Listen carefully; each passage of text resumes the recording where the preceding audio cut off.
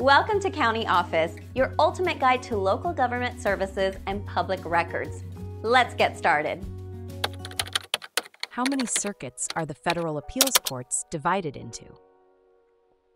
The federal court system in the United States is structured in a hierarchical manner, with the courts of appeals playing a crucial role as the intermediate appellate courts.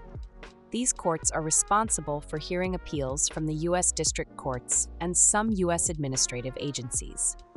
Historically, the Judiciary Act of 1789 established the initial framework for the federal judicial system, including the creation of three circuits the Eastern, Middle, and Southern circuits.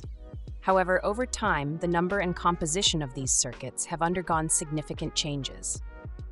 Today, the federal appeals courts are organized into distinct geographic regions known as circuits. Each circuit covers a specific area of the United States and hears appeals from the U.S. district courts within its borders. For instance, the Fifth Circuit includes states such as Texas, Louisiana, and Mississippi, and cases from these states are appealed to the United States Court of Appeals for the Fifth Circuit. In addition to the geographic circuits, there is also a specialized circuit known as the Federal Circuit, which has nationwide jurisdiction over specific areas of law, such as patents and certain administrative agency decisions.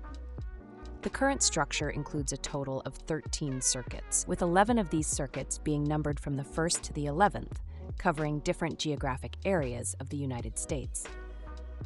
The District of Columbia Circuit covers only Washington, D.C., and the Federal Circuit has a unique nationwide jurisdiction.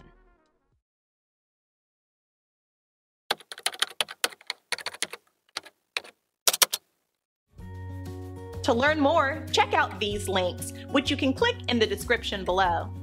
And feel free to comment your questions. We're here to help. Thanks for tuning in to our video. Please like and subscribe and leave a comment below. See you in the next video.